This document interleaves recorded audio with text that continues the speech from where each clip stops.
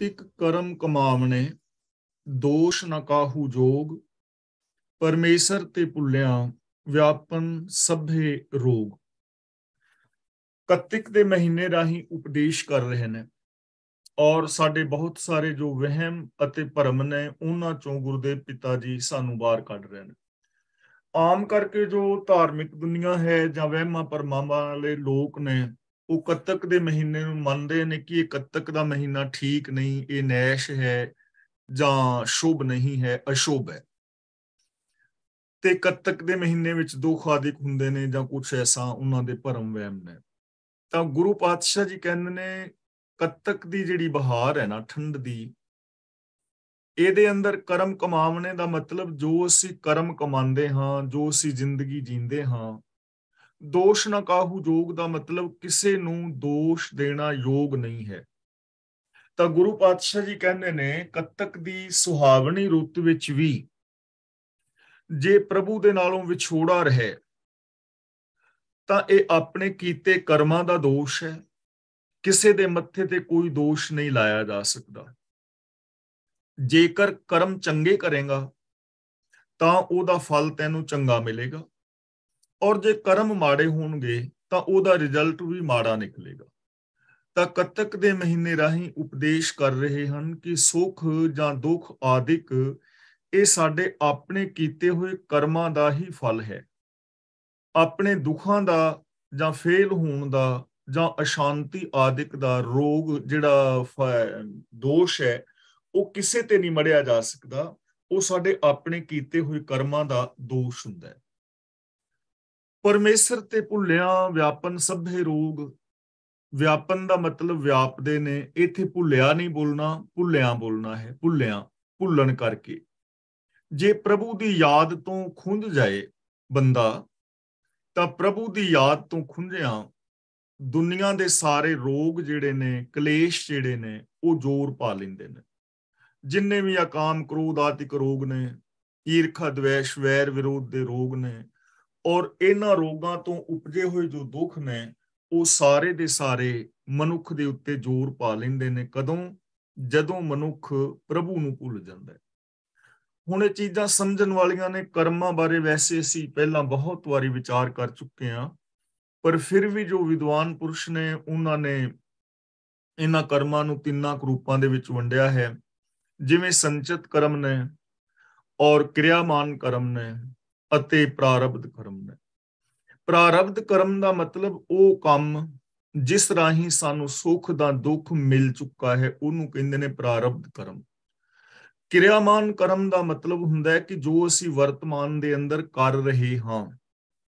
ਤੇ ਸੰਚਿਤ ਕਰਮ ਦਾ ਮਤਲਬ ਹੁੰਦਾ ਹੈ, ਜੋ ਸਾਡੇ ਅੰਦਰ ਬਣੇ ਹੋਏ ਸੁਭਾਅ ਨੇ। ਜੋ ਸਾਡਾ ਬਣਿਆ ਹੋਇਆ ਸੁਭਾਅ ਹੈ, ਜੋ ਸਾਡੇ ਅੰਦਰ ਇਕੱਠੇ ਕਰੇ ਹੋਏ ਪਏ ਨੇ। ਇਹਨਾਂ ਨੂੰ ਬਦਲਿਆ ਜਾ ਸਕਦਾ ਹੈ ਜੇ ਮਨੁੱਖ ਬਦਲਣਾ ਚਾਹੇ। ਇਹਨਾਂ ਤਿੰਨਾਂ ਕਿਸਮ ਦੇ ਕਰਮਾਂ ਨੂੰ ਸਮਝਣ ਲਈ ਇੱਕ ਨਿੱਕੀ ਜੀ ਮਿਸਾਲ ਮੈਂ ਆਪ ਦੇ ਸਾਹਮਣੇ ਰੱਖਾਂ। ਜਿਵੇਂ ਇੱਕ ਮਨੁੱਖ ਨੇ ਆਪਣੇ ਪੱਥੇ ਦੇ ਅੰਦਰ ਤੀਰ ਪਾਏ ਹੋਏ ਨੇ। ਉਹਨਾਂ ਤੀਰਾਂ ਦੇ ਵਿੱਚੋਂ ਇੱਕ ਤੀਰ ਉਸਨੇ ਕੱਢਿਆ ਔਰ ਉਸ ਤੀਰ ਨੂੰ ਚਲਾ ਦਿੱਤਾ। ਹੁਣ ਜਿਹੜਾ ਇਹ ਤੀਰ ਚੱਲ ਚੁੱਕਾ ਹੈ ਨਾ, ਇਹਨੂੰ ਅਸੀਂ ਕਵਾਂਗੇ ਪ੍ਰਾਰਬਧ ਕਰਮ। ਯਾਨੀ ਇਹ ਹੁਣ ਵਾਪਸ ਨਹੀਂ ਹੋ ਸਕਦਾ, ਇਹ ਤੀਰ ਜਾ ਕੇ ਆਪਣੇ ਨਿਸ਼ਾਨੇ ਤੇ ਲੱਗੇਗਾ ਔਰ ਆਪਣਾ ਜੋ ਵੀ ਇਹਨੇ ਕੰਮ ਕਰਨਾ ਹੈ, ਉਹ ਕੰਮ ਕਰ ਦੇਵੇਗਾ। ਇਹਨੂੰ ਵਾਪਸ ਨਹੀਂ ਕੀਤਾ ਜਾ ਸਕਦਾ। ਦੂਜੇ ਨੇ ਕਿਰਿਆਮਾਨ ਕਰਮ। ਕਿਰਿਆਮਾਨ ਕਰਮ ਦਾ ਮਤਲਬ ਕਿ ਜਿਹੜਾ ਤੀਰ ਉਸਨੇ ਪੱਥੇ ਚੋਂ ਕੱਢ ਕੇ ਕਮਾਨ ਤੇ ਲਾ ਕੇ ਖਿੱਚਿਆ ਹੋਇਆ ਹੈ। ਹੱਲ ਚਲਾਇਆ ਨਹੀਂ। ਚਲਾਨ ਲੱਗਾ ਹੈ। ਜੇ ਤੀਰ ਚਲਾਉਣ ਵਾਲਾ ਇਹ ਕੰਮ ਚਾਹੇ ਤਾਂ ਰੋਕ ਸਕਦਾ ਵੀ ਤੀਰ ਨਾ ਚਲਾਏ, ਆਪਣਾ ਵਾਪਸ ਪੱਥੇ ਵਿੱਚ ਪਾ ਲਵੇ, ਨਾ ਚਲਾਏ ਤੀਰ, ਇਹਨੂੰ ਰੋਕਿਆ ਜਾ ਸਕਦਾ ਤੇ ਜਿਹੜੇ ਅੰਦਰ ਸੰਚਿਤ ਕਰਮ ਨੇ ਨਾ, ਉਹ ਉਸ ਪੱਥੇ ਦੇ ਤੀਰਾਂ ਵਾਂਗੂ ਨੇ ਜੋ ਪਿੱਛੇ ਸਟੋਰ ਕੀਤੇ ਹੋਏ ਨੇ। ਹੁਣ ਜੇ ਬੰਦਾ ਚਾਹੇ ਤਾਂ ਉਹਨਾਂ ਦੇ ਵਿੱਚੋਂ ਤੀਰ ਹੋਰ ਕੱਢ-ਕੱਢ ਕੇ ਚਲਾਈ ਜਾਏ ਤੇ ਜੇ ਚਾਹੇ ਤਾਂ ਉਹਨਾਂ ਤੀਰਾਂ ਨੂੰ ਹੀ ਉਹ ਖਤਮ ਕਰ ਸਕਦਾ ਹੈ। ਖਾਲੀ ਕਰ ਸਕਦਾ ਹੈ ਪੱਥੇ ਨੂੰ। ਤਾਂ ਇਸੇ ਇੱਕ ਮਿਸਾਲ ਹੈ ਸਿਰਫ। ਸਾਡੇ ਕੁਝ ਕਰਮ ਐਸੇ ਨੇ ਜੋ ਅਸੀਂ ਕਰਮ ਕੀਤੇ, ਬੋਲੇ ਜਾਂ ਜੋ ਵੀ ਅਸੀਂ ਸੋਚਿਆ, ਉਹ ਸਾਡੇ ਅੰਦਰ ਸੰਸਕਾਰ ਬਣ ਗਿਆ, ਜਿਹਨੂੰ ਨਿਊਰੋਨਲ ਪੈਟਰਨ ਵੀ ਕਿਹਾ ਜਾਂਦਾ ਹੈ ਔਰ ਜਿਸ ਨੂੰ ਸੁਭਾਅ ਵੀ ਕਿਹਾ ਜਾਂਦਾ ਹੈ। ਹੁਣ ਬਣੇ ਹੋਏ ਸੁਭਾਅ ਮੁਤਾਬਕ ਬੰਦੇ ਨੇ ਕੰਮ ਕਰਨੇ ਨੇ, ਜੇ ਪੱਥਾ ਖਾਲੀ ਹੋਈ ਤੇ ਤੀਰ ਚੱਲਣਗੇ ਨਹੀਂ। ਜੇ ਉਸ ਬਣੇ ਹੋਏ ਸੁਭਾਅ ਮੁਤਾਬਕ ਕਰਮ ਕਰੀ ਜਾਏਗਾ ਤਾਂ ਉਹ ਹੋਰ ਪੱਕੇ ਹੁੰਦੇ ਜਾਣਗੇ, ਹੋਰ ਵੱਧਦੇ ਜਾਣਗੇ। ਇਸ ਲਈ ਜ਼ਰੂਰਤ ਹੈ ਆਪਣੇ ਬਣੇ ਹੋਏ ਸੁਭਾਅ ਨੂੰ ਬਦਲਣ ਦੀ। ਜੋ ਅਸੀਂ ਕਰ ਚੁੱਕੇ ਹਾਂ, ਉਹਨਾਂ ਕੰਮਾਂ ਨੂੰ ਬਦਲਿਆ ਨਹੀਂ ਜਾ ਸਕਦਾ। ਉਹਨਾਂ ਦਾ ਫਲ ਸੁੱਖ ਜਾਂ ਦੁੱਖ ਦੇ ਵਿੱਚ ਸਾਨੂੰ ਮਿਲ ਚੁੱਕਾ ਹੈ, ਉਹਨੂੰ ਚੇਂਜ ਕੀਤਾ ਨਹੀਂ ਜਾ ਸਕਦਾ। ਤਾਂ ਇਹਨਾਂ ਕਰਮਾਂ ਕਰਕੇ ਸਾਡੀ ਜ਼ਿੰਦਗੀ ਦੇ ਅੰਦਰ ਦੁੱਖ ਨੇ।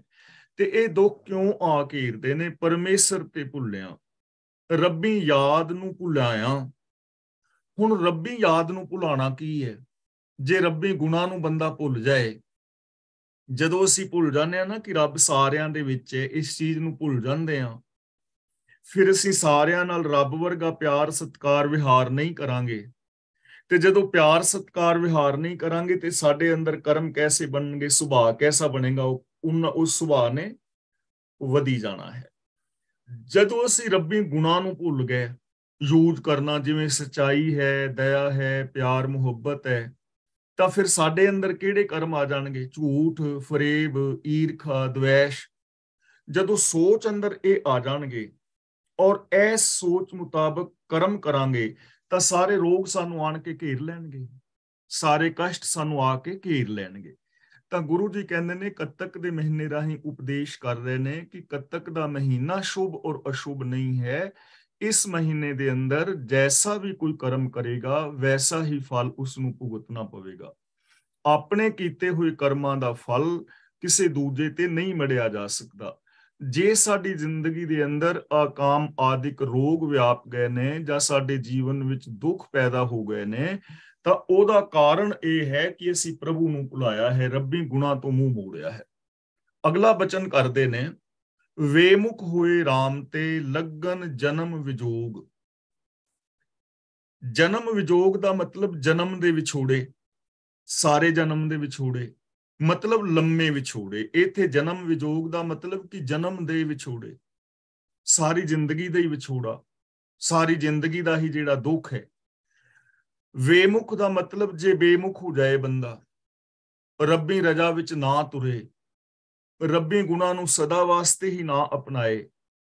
ਤਾਂ ਗੁਰੂ ਪਾਤਸ਼ਾਹ ਜੀ ਕਹਿੰਦੇ ਨੇ, ਜਿਨ੍ਹਾਂ ਨੇ ਇਸ ਜਨਮ ਦੇ ਅੰਦਰ ਪ੍ਰਭੂ ਦੀ ਯਾਦ ਵੱਲੋਂ ਮੂੰਹ ਮੋੜੀ ਰੱਖਿਆ ਨਾ, ਉਹਨਾਂ ਨੂੰ ਫਿਰ ਲੰਮੇ ਵਿਛੋੜੇ ਪੈ ਜਾਂਦੇ ਨੇ ਸੁੱਖਾਂ ਦੇ। ਉਹਨਾਂ ਨੂੰ ਲੰਮੇ ਵਿਛੋੜੇ ਪੈ ਜਾਂਦੇ ਨੇ ਰੱਬੀ ਗੁਣਾ ਦੇ, ਕਿਉਂਕਿ ਇਹਨਾਂ ਸੁੱਖਾਂ ਨਾਲੋਂ ਔਰ ਗੁਣਾ ਦੇ ਨਾਲੋਂ ਉਹਨਾਂ ਦਾ ਵਿਛੋੜਾ ਹੀ ਪੈ ਜਾਂਦਾ ਉਹਨਾਂ ਨੂੰ ਫਿਰ ਲੰਮੇ ਦੁੱਖ ਸਹਾਰਨੇ ਪੈਂਦੇ ਨੇ, ਕਿਉਂਕਿ ਸਾਰੀ ਜ਼ਿੰਦਗੀ ਹੀ ਗੁਨਾ ਨਾਲੋਂ ਟੁੱਟੀ ਰਹੇ। ਸਾਰੀ ਜ਼ਿੰਦਗੀ ਹੀ ਬੇਮੁਖ ਹੋਈ ਰਹੇ, ਭਾਵ ਕੀ ਰਜਾ ਤੋਂ ਉਲਟ ਚੱਲਦੀ ਰਹੇ। ਤਾਂ ਜਿੰਨਾ ਲੰਮਾ ਵਿਛੋੜਾ ਹੋਏਗਾ ਉਨੇ ਹੀ ਲੰਮੇ ਰੋਗ ਹੋ ਜਾਣਗੇ ਖਿੰਨ ਮਹਿ ਕੌੜੇ ਹੋਏ ਗਏ, ਜਿਤੜੇ ਮਾਇਆ ਭੋਗ। ਮਾਇਆ ਭੋਗ ਦਾ ਮਤਲਬ ਮਾਇਆ ਦੀਆਂ ਮੌਜਾਂ, ਦੁਨੀਆ ਦੀਆਂ ਮੌਜ ਬਹਾਰਾਂ। ਤਾਂ ਪ੍ਰਭੂ ਦੇ ਗੁਣਾ ਨੂੰ ਵਿਸਾਰ ਕੇ, ਜਿਹੜੀਆਂ ਮਾਇਆ ਦੀਆਂ ਮੌਜ ਬਹਾਰਾਂ ਵਾਸਤੇ ਜਿਹੜੇ ਸਰੀਰਕ ਸੁੱਖਾਂ ਵਾਸਤੇ ਪ੍ਰਭੂ ਨੂੰ ਭੁਲਾ ਦਿੱਤਾ ਸੀ, ਉਹ ਇੱਕ ਪਲ ਵਿੱਚ ਹੀ ਦੁਖਦਾਈ ਹੋ ਜਾਂਦੇ ਨੇ, ਕੌੜੇ ਹੋ ਜਾਂਦੇ ਨੇ, ਦੁਖਦਾਈ ਹੋ ਜਾਂਦੇ ਨੇ। ਕਿਵੇਂ ਦੁਖਦਾਈ ਹੋ ਜਾਂਦੇ ਨੇ? ਇਹ ਚੀਜ਼ਾਂ ਤੁਸੀਂ ਬਹੁਤ ਵਾਰੀ ਐਕਸਪਲੇਨ ਕੀਤੀਆਂ, ਸੁਣੀਆਂ ਔਰ ਸਮਝ ਚੁੱਕੇ ਹੋ ਕਿ ਅਸੀਂ ਝੂਠ ਵਾਸਤੇ ਕੋਈ ਚੀਜ਼ ਪ੍ਰਾਪਤ ਕਰਨ ਲਈ ਸੱਚ ਨੂੰ ਵਿਸਾਰ ਦਿੱਤਾ। ਔਰ ਅਸੀਂ ਝੂਠ ਬੋਲ ਕੇ ਕਿਸੇ ਦਾ ਹੱਕ ਆਦਿਕ ਖਾ ਗਏ। ਤਾਂ ਜਦੋਂ ਅਸੀਂ ਸੱਚ ਦੇ ਨਾਲੋਂ ਟੁੱਟੇ, ਸਾਡਾ ਆਚਰਨ ਵੀ ਗਿਰਿਆ, ਅਸੀਂ ਬੇਗਾਨਾ ਹੱਕ ਖਾਦਾ ਤਾਂ ਬੇਗਾਨਾ ਹੱਕ ਖਾਣ ਦੇ ਨਾਲ ਸਾਡੇ ਤੇ ਕੋਈ ਕੇਸ ਆਦਿਕ ਬਣ ਗਿਆ, ਅਸੀਂ ਜੇਲ੍ਹ ਵਿੱਚ ਚਲੇ ਗਏ ਜਾਂ ਕੋਈ ਹੋਰ ਦੁੱਖ ਪੈਦਾ ਹੋ ਗਿਆ, ਤਾਂ ਜਿਹਦੇ ਵਾਸਤੇ ਅਸੀਂ ਸੱਚ ਨੂੰ ਵਿਸਾਰਿਆ ਸੀ, ਉਹ ਤਾਂ ਦੁਖਦਾਈ ਹੋ ਗਿਆ। ਕਿਸੇ ਆਪਣੇ ਭੈਣ ਭਰਾ ਦੇ ਨਾਲ ਅਸੀਂ ਨਿੱਕੀ ਜੀ ਗੱਲ ਤੋਂ ਲੜ ਪਏ ਤੇ ਲੜੇ ਕਾਦੇ ਵਾਸਤੇ? ਥੋੜੀ ਬਹੁਤੀ ਪ੍ਰਾਪਰਟੀ ਵਾਸਤੇ ਜਾਂ ਈਗੋ ਵਾਸਤੇ। ਤੇ ਜਿਹਦੇ ਵਾਸਤੇ ਲੜੇ, ਉਹਦੇ ਕਰਕੇ ਸਾਡਾ ਵਿਛੋੜਾ ਹੋ ਗਿਆ ਭੈਣ ਭਰਾ ਨਾਲੋਂ, ਹੁਣ ਸਾਰੀ ਜ਼ਿੰਦਗੀ ਦਾ ਦੁੱਖ ਸਹਿੜ ਲਿਆ। ਤਾਂ ਗੁਰੂ ਸਾਹਿਬ ਜੀ ਕਹਿੰਦੇ ਨੇ, ਜਿੰਨਾ ਮਾਇਕ ਭੋਗਾਂ ਵਾਸਤੇ ਬੰਦਾ ਰੱਬੀ ਗੁਣਾ ਦੇ ਨਾਲੋਂ ਆਪਣਾ ਸੰਬੰਧ ਤੋੜ ਲੈਂਦਾ ਹੈ, ਉਹ ਇੱਕ ਪਲ ਦੇ ਵਿੱਚ ਹੀ ਕੌੜੇ ਹੋ ਜਾਂਦੇ ਨੇ, ਦੁਖਦਾਈ ਹੋ ਜਾਂਦੇ ਨੇ। ਜਦੋਂ ਅਸੀਂ ਸੱਚ ਨੂੰ ਛੱਡ ਕੇ ਜ਼ਿੰਦਗੀ ਜੀਂਦੇ ਆ ਉਹ ਕਰਮ ਸਾਡੇ ਵਾਸਤੇ ਦੁਖਦਾਇਕ ਹੋ ਜਾਂਦੇ ਨੇ। ਵਿੱਚ ਨਾ ਕੋਈ ਕਰ ਸਕੇ, ਕਿਸਥੈ ਰੋਵਹਿ ਰੋਜ਼। ਵਿੱਚ ਦਾ ਮਤਲਬ ਵਿਚੋਲਾਪਨ। ਕਿਸਥੈ ਦਾ ਮਤਲਬ ਕਿਦੇ ਕੋਲ? ਤੇ ਰੋਜ਼ ਦਾ ਮਤਲਬ ਹਰ ਰੋਜ਼। ਰੋਜ਼ ਵੈਸੇ ਦੁੱਖਾਂ ਨੂੰ ਵੀ, ਚਿੰਤਾਵਾਂ ਨੂੰ ਵੀ ਕਹਿੰਦੇ ਨੇ, ਪਰ ਇੱਥੇ ਰੋਜ਼ ਦਾ ਮਤਲਬ ਹਰ ਰੋਜ਼ ਲਿਆ ਹੈ। ਇਸ ਦੁਖੀ ਹਾਲਾਤ ਵਿੱਚ, ਜਿੱਥੇ ਰੱਬ ਦੇ ਗੁਣਾਂ ਨਾਲੋਂ ਵਿਛੋੜਾ ਹੈ, ਸੱਚ ਨਾਲੋਂ ਬੰਦਾ ਟੁੱਟ ਚੁੱਕਿਆ ਹੈ ਰੱਬੀ ਰਜਾ ਵਿੱਚ ਨਹੀਂ ਤੁਰਦਾ, ਦੁੱਖਾਂ ਦੇ ਵਿੱਚ ਫਸ ਗਿਆ ਹੈ, ਤਾਂ ਇਸ ਹਾਲਾਤ ਦੇ ਅੰਦਰ ਜੇ ਉਹ ਲੋਕਾਂ ਦੇ ਕੋਲ ਹਰ ਰੋਜ਼ ਰੋਂਦਾ ਫਿਰਦਾ ਹੈ, ਫਰਿਆਦਾਂ ਕਰਦਾ ਹੈ, ਮੜੀਆਂ ਕਬਰਾਂ ਤੇ ਮੱਥੇ ਟੇਕਦਾ ਹੈ, ਦੇਵੀਆਂ ਦੇਵਤਿਆਂ ਨੂੰ ਮਨਾਉਂਦਾ ਹੈ, ਬਾਬਿਆਂ ਨੂੰ ਮੱਥੇ ਟੇਕਦਾ ਫਿਰਦਾ ਹੈ ਕਰਮ ਕਾਂਡ ਕਰਦਾ ਫਿਰਦਾ ਹੈ, ਜਾਂ ਆਪਣੇ ਦੁੱਖਾਂ ਨੂੰ ਬੋਲ-ਬੋਲ ਕੇ ਦੱਸਦਾ ਫਿਰਦਾ ਹੈ, ਤੇ ਉਹਦਾ ਕੋਈ ਫਾਇਦਾ ਹੀ ਨਹੀਂ। ਕੋਈ ਵਿਚੋਲਗੀ ਨਹੀਂ ਕਰ ਸਕਦਾ।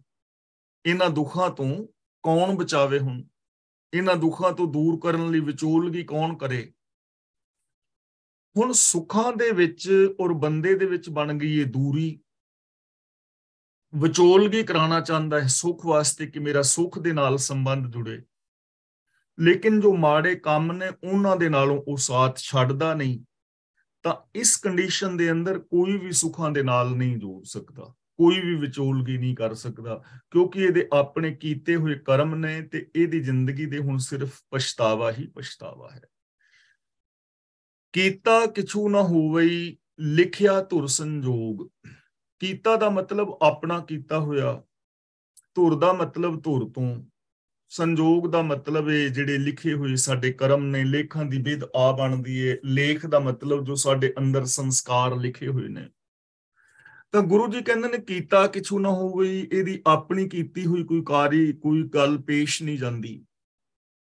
ਤੇ ਇਹਦੇ ਕੀਤੇ ਕਰਮਾਂ ਅਨੁਸਾਰ, ਜੋ ਧੁਰੋਂ ਮਤਲਬ ਸ਼ੁਰੂ ਤੋਂ ਹੀ ਇਹ ਲੇਖ ਹੈ, ਹੁਕਮ ਹੈ, ਕਿ ਜੈਸੇ ਕੋਈ ਕਰਮ ਕਰੇਗਾ, ਵੈਸਾ ਹੀ ਫਲ ਮਿਲੇਗਾ। ਇਹ ਗੱਲ ਤੇ ਧੁਰ ਤੋਂ ਤੁਰੀ ਆ ਰਹੀ ਹੈ। ਧੁਰ ਤੋਂ ਸੰਲਿਖਿਆ ਲੇਖ ਸੰਜੋਗ ਦਾ ਮਤਲਬ ਕਿ ਜੋ ਚੀਜ਼ ਧੁਰ ਤੋਂ ਹੀ ਤੁਰੀ ਆ ਰਹੀ ਹੈ। ਪਾਵਨ ਬਾਣੀ ਦੇ ਵਿੱਚ ਬਚਨ ਆਇਆ ਨਾ ਹੁਕਮ ਰਜ਼ਾਈ ਚੱਲਣਾ, ਨਾਨਕ ਲਿਖਿਆ ਨਾਲ। ਲਿਖਿਆ ਨਾਲ ਦਾ ਮਤਲਬ ਜਦੋਂ ਤੋਂ ਇਹ ਕਾਇਨਾਤ ਪੈਦਾ ਹੋਈ ਹੈ, ਉਦੋਂ ਤੋਂ ਇਹ ਵੀ ਨਿਯਮ ਤੁਰਿਆ ਆ ਰਿਹਾ ਹੈ ਕਿ ਹਰ ਚੀਜ਼ ਨਿਯਮ ਦੇ ਵਿੱਚ ਹੀ ਹੈ। ਤੇ ਉਸ ਨਿਯਮ ਦੇ ਅੰਦਰ ਹੀ ਹੁਣ ਸਾਨੂੰ ਕੀਤੇ ਹੋਏ ਕਰਮਾਂ ਦਾ ਫਲ ਦੁੱਖ ਰੂਪ ਵਿੱਚ ਮਿਲ ਰਿਹਾ ਹੈ। ਤਾਂ ਇਹਦੇ ਵਿੱਚ ਕੋਈ ਵਿਚੋਲਗੀ ਕਰ ਹੀ ਨਹੀਂ ਸਕਦਾ, ਹੁਕਮ ਨੂੰ ਕੌਣ ਬਦਲੇ? ਸਿਸਟਮ ਨੂੰ ਕੌਣ ਬਦਲੇ? ਜੋ ਕੁਦਰਤ ਦੇ ਅਟਲ ਨੇਮ ਨੇ, ਇਹਨਾਂ ਨੂੰ ਕੋਈ ਬਦਲ ਹੀ ਨਹੀਂ ਸਕਦਾ ਵਿਚੋਲਗੀ ਨਹੀਂ ਨਾ ਕਰ ਸਕਦਾ ਕਿ ਕੰਮ ਮਾੜੇ ਕਰੇ ਤੇ ਉਹਦੀ ਜ਼ਿੰਦਗੀ ਵਿੱਚ ਸੁੱਖ ਪੈਦੇ ਹੋਣ, ਪੈਦਾ ਹੋਣ। ਵੱਡ ਭਾਗੀ ਮੇਰਾ ਪ੍ਰਮ ਮਿਲੇ ਤਾਂ ਉਤਰੇ ਸਭ ਵਿਯੋਗ ਵਿਯੋਗ ਦਾ ਮਤਲਬ ਵਿਛੋੜੇ ਦੇ ਕਾਰਨ ਪੈਦਾ ਹੋਏ ਜਿਹੜੇ ਦੁੱਖ ਨੇ। ਜੇ ਚੰਗੇ ਭਾਗਾਂ ਨੂੰ ਪ੍ਰਭੂ ਆ ਮਿਲੇ, ਤਾਂ ਇਹ ਵਿਛੋੜੇ ਤੋਂ ਪੈਦਾ ਹੋਏ ਸਾਰੇ ਦੁੱਖ ਮਿਟ ਸਕਦੇ ਨੇ। ਯਾਨੀ ਇੱਕੋ ਹੀ ਸਾਧਨ ਹੈ, ਹੋਰ ਕੋਈ ਕਰਮ ਕਾਂਡ ਜਾਂ ਕੋਈ ਹੋਰ ਜੰਤਰ ਮੰਤਰ ਇਹਨਾਂ ਚੀਜ਼ਾਂ ਦਾ ਸਾਧਨ ਨਹੀਂ ਬਣਦਾ। ਇੱਕੋ ਹੀ ਸਾਧਨ ਹੈ ਕਿ ਜੇ ਵੱਡੇ ਭਾਗਾਂ ਨਾਲ, ਭਾਵ ਚੰਗੇ ਉਦਮ ਦੇ ਨਾਲ ਬੰਦੇ ਨੂੰ ਪ੍ਰਭੂ ਮਿਲ ਜਾਏ, ਇਹ ਪ੍ਰਭੂ ਦੀ ਸ਼ਰਨ ਵਿੱਚ ਚਲਾ ਜਾਏ, ਆਪਣੇ ਆਪ ਨੂੰ ਰੱਬ ਵਿੱਚ ਮਿਲਾ ਦੇਵੇ, ਰੱਬੇ ਗੁਣਾ ਦਾ ਧਾਰ ਨਹੀਂ ਹੋ ਜਾਏ, ਤਾਂ ਫਿਰ ਇਹਦੇ ਸਾਰੇ ਜਿਹੜੇ ਲੰਬੇ ਵਿਛੋੜੇ ਦੇ ਦੁੱਖ ਨੇ ਉਹ ਉਤਰ ਸਕਦੇ ਨੇ। ਜਿਵੇਂ ਮੈਂ ਪਹਿਲਾਂ ਬੇਨਤੀ ਕੀਤੀ ਹੈ ਕਿ ਜੇ ਆਪਣੇ ਅੰਦਰਲੇ ਬਣੇ ਹੋਏ ਸੁਭਾਅ ਨੂੰ ਇਹ ਬਦਲਣ ਦਾ ਯਤਨ ਕਰੇ, ਰੱਬੀ ਗੁਣਾ ਦਾ ਧਾਰਨੀ ਹੋਵੇ, ਤਾਂ ਇਹਦਾ ਵੀ ਮਿਲਾਪ ਹੋ ਸਕਦਾ ਹੈ। ਤਾਂ ਗੁਰੂ ਪਾਤਸ਼ਾਹ ਜੀ ਸਾਨੂੰ ਸਮਝਾ ਰਹੇ ਨੇ ਕਿ ਪਿਆਰਿਓ, ਨਿਰਾਸ਼ ਹੋਣ ਦੀ ਜ਼ਰੂਰਤ ਨਹੀਂ, ਜੇ ਗਲਤੀ ਨਾਲ ਜਾਂ ਜਾਣ ਬੁੱਝ ਕੇ ਕੋਈ ਇਨਸਾਨ ਐਸੀ ਜ਼ਿੰਦਗੀ ਬਣਾ ਬੈਠਾ ਹੈ ਜਿਸ ਜ਼ਿੰਦਗੀ ਦੇ ਅੰਦਰ ਦੁੱਖ ਔਰ ਅਸ਼ਾਂਤੀ ਹੈ ਮਾੜੇ ਕਰਮਾਂ ਕਰਕੇ, ਤਾਂ ਜੇ ਉਹ ਚਾਹੇ ਤਾਂ ਉਹਨਾਂ ਕਰਮਾਂ ਨੂੰ ਛੱਡ ਕੇ, ਚੰਗੇ ਗੁਣਾਂ ਦਾ ਧਾਰਨੀ ਹੋ ਕੇ, ਪ੍ਰਭੂ ਦੇ ਅੰਦਰ ਆਪਣੀ ਸੋਚ ਨੂੰ ਮਿਲਾ ਕੇ ਤੇ ਇਹਨਾਂ ਲੰਬੇ ਵਿਛੋੜੇ ਦੇ ਦੁੱਖਾਂ ਨੂੰ ਮਿਟਾ ਸਕਦਾ ਹੈ, ਹੋਰ ਕੋਈ ਸਾਧਨ ਨਹੀਂ ਹੈ। ਨਾਨਕ ਕੋ ਪ੍ਰਭ ਰਾਖ ਲਹਿ ਮੇਰੇ ਸਾਹਿਬ ਬੰਦੀ ਮੋਚ। ਬੰਦੀ ਮੋਚ ਦਾ ਮਤਲਬ ਕੈਦ ਤੋਂ ਛੁਡਾਉਣ ਵਾਲਾ। ਬੰਧਨਾ ਤੋਂ ਮੁਕਤ ਕਰਾਉਣ ਵਾਲਾ। ਪ੍ਰਭੂ ਬੰਧਨਾ ਤੋਂ ਮੁਕਤ ਕਰਾਉਣ ਵਾਲਾ ਹੈ। ਗੁਰੂ ਜੀ ਕਹਿ ਰਹੇ ਨੇ ਕਿ हे ਪ੍ਰਭੂ, ਮੇਰੀ ਇਹ ਬੇਨਤੀ ਹੈ ਤੇਰੇ ਚਰਨਾਂ ਦੇ ਅੰਦਰ ਕਿ ਤੂੰ ਬੰਧਨਾ ਤੋਂ ਛੁਡਾਉਣ ਵਾਲਾ ਹੈ। ਮੈਨੂੰ ਰੱਖ ਲੈ, ਮੈਨੂੰ ਬਚਾ ਲੈ, ਮੈਨੂੰ ਇਹਨਾਂ ਵਿਕਾਰਾਂ ਤੋਂ ਬਚਾ। ਮੈਨੂੰ ਇਸ ਮਾਇਆ ਵਾਲੀ ਸੋਚ ਤੋਂ ਬਚਾ। ਮੈਂ ਤੇਰੇ ਚਰਨਾਂ ਦੀ ਸ਼ਰਨ ਵਿੱਚ ਹਾਂ। ਕਤਿਕ ਹੋਵੇ ਸਾਧ ਸੰਗ ਬਿਨ ਸਹਿ ਸਭੇ ਸੋਚ ਇਥੇ ਸੋਚ ਦਾ मीनिंग ਹੈ ਫਿਕਰ ਚਿੰਤਾਵਾਂ ਬਿਨ ਸਹਿ ਦਾ ਮਤਲਬ ਨਾਸ ਹੋ ਜਾਂਦੇ ਨੇ ਤਾਂ ਗੁਰੂ ਪਾਤਸ਼ਾਹ ਜੀ ਕਹਿੰਦੇ ਨੇ ਕੱਤਕ ਦੇ ਮਹੀਨੇ ਰਾਹੀਂ ਉਪਦੇਸ਼ ਦੇ ਰਹੇ ਨੇ ਕਿ ਜੇ ਕੱਤਕ ਦੇ ਮਹੀਨੇ ਵਿੱਚ ਗੁਰੂ ਦੀ ਸੰਗਤ ਮਿਲ ਜਾਏ ਗੁਰੂ ਦੀ ਸ਼ਰਨੀ ਪਿਆ ਜਾਏ ਗੁਰੂ ਦੀ ਸੰਗਤ ਕੀਤੀ ਜਾਏ ਯਾਨੀ ਗੁਰੂ ਦੇ ਦੱਸੇ ਰਾਹ ਤੇ ਤੁਰਿਆ ਜਾਏ ਬਿਨ ਸਹਿ ਸਭੇ ਸੋਚ ਤਾਂ ਸਾਰੀਆਂ ਚਿੰਤਾਵਾਂ ਫਿਕਰ ਮੁੱਕ ਜਾਂਦੇ ਨੇ ਯਾਨੀ ਜੇ ਰੱਬੀ ਗੁਣਾ ਦੇ ਨਾਲ ਜੁੜਨਾ ਹੈ ਤੇ ਉਹਦੇ ਵਾਸਤੇ ਸਾਨੂੰ ਦੱਸ ਰਹੇ ਨੇ ਗੁਰੂ ਦੀ ਸ਼ਰਨ। ਗੁਰੂ ਦੇ ਚਰਨਾਂ ਦੀ ਜੋ ਸ਼ਰਨ ਲੈਂਦਾ ਹੈ, ਜੋ ਗੁਰੂ ਦੱਸੇ ਰਾਹਾਂ ਤੇ ਤੁਰਦਾ ਹੈ, ਤਾਂ ਉਹਦੀਆਂ ਸਾਰੀਆਂ ਚਿੰਤਾਵਾਂ ਮੁੱਕ ਜਾਂਦੀਆਂ ਨੇ।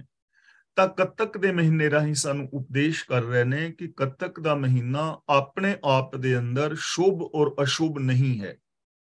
ਇਹਦੇ ਵਿੱਚ ਆਪਣੇ ਹੀ ਕੀਤੇ ਹੋਏ ਜੋ ਕਰਮ ਨੇ, ਉਹਨਾਂ ਦਾ ਹੀ ਫਲ ਸਾਨੂੰ ਸੁੱਖ ਔਰ ਦੁੱਖ ਦੇ ਰੂਪ ਵਿੱਚ ਮਿਲੇਗਾ।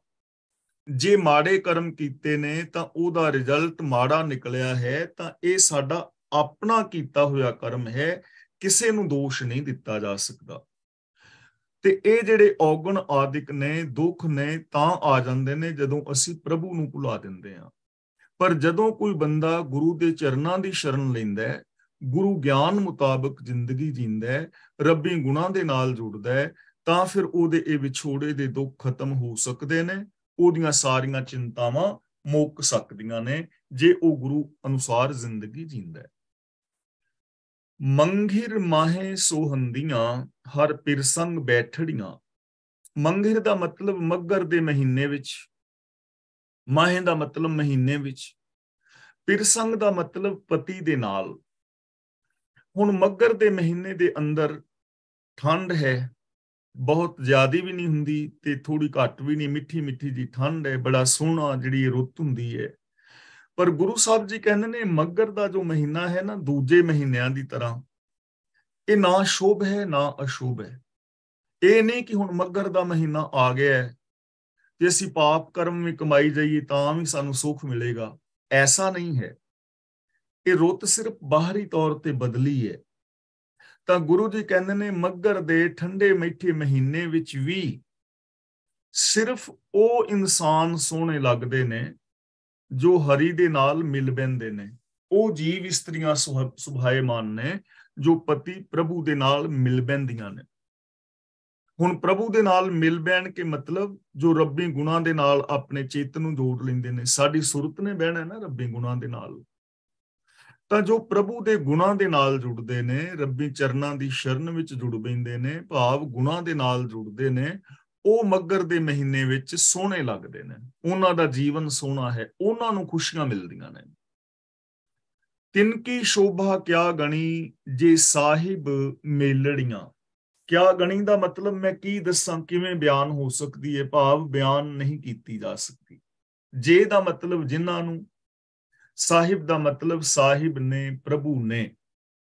ਜਿਨ੍ਹਾਂ ਨੂੰ ਪ੍ਰਭੂ ਨੇ ਆਪਣੇ ਨਾਲ ਮਿਲਾ ਲਿਆ, ਉਹਨਾਂ ਦੀ ਸ਼ੋਭਾ ਬਿਆਨ ਨਹੀਂ ਹੋ ਸਕਦੀ।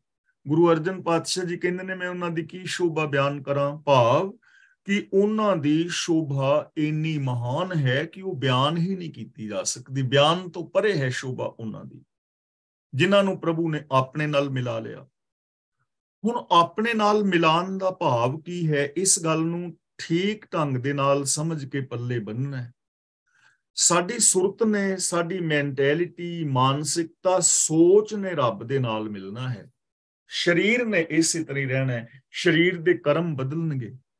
ਵੇਖਣਾ, ਚਾਖਣਾ, ਕਰਮ ਕਰਨੇ ਬਦਲ ਜਾਣਗੇ। ਖਾਣਾ, ਪੀਣਾ ਤੇ ਇਹਦਾ ਰਹਿ ਗਿਆ, ਲੋੜਾਂ ਰਹਿਣਗੀਆਂ ਇਸੇ ਤਰ੍ਹਾਂ। ਸਰੀਰ ਨੇ ਨਹੀਂ ਬਦਲ ਜਾਣਾ।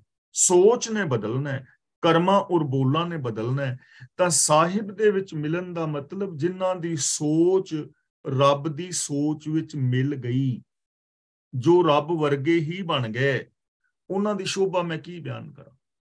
ਗੱਲ ਸੋਚ ਦੀ ਹੈ, ਸੋਚ ਨੇ ਰੱਬ ਵਿੱਚ ਮਿਲਣਾ ਹੈ, ਸੋਚ ਨੂੰ ਰੱਬ ਨੇ ਮਿਲਣਾ ਹੈ, ਸੋਚ ਨੇ ਔਰ ਰੱਬ ਨੇ ਇੱਕਮਿਕ ਹੋਣਾ ਹੈ, ਰੱਬ ਇੱਕ ਸੋਚ ਹੈ, ਇੱਕ ਓੰਕਾਰ ਤੋਂ ਲੈ ਕੇ ਗੁਰਪ੍ਰਸਾਦ ਤੱਕ। ਤਨ ਮਨ ਮੌਲਿਆ RAM ਸਿਉ, ਸੰਗ ਸਾਧ ਸਹੇਲੜੀਆਂ। RAM ਸਿਉ ਦਾ ਮਤਲਬ ਪ੍ਰਭੂ ਨਾਲ।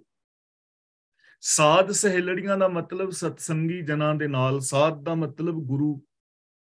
ਸਹੇਲੜੀਆਂ ਦਾ ਮਤਲਬ ਜੋ ਗੁਰੂ ਦੇ ਦੱਸੇ ਰਾਹ ਤੇ ਤੁਰਨ ਵਾਲੇ ਸਚਿਆਰ ਲੋਕ ਨੇ। ਗੁਰੂ ਦੱਸੇ ਰਾਹ ਤੇ ਤੁਰਦੇ ਨੇ।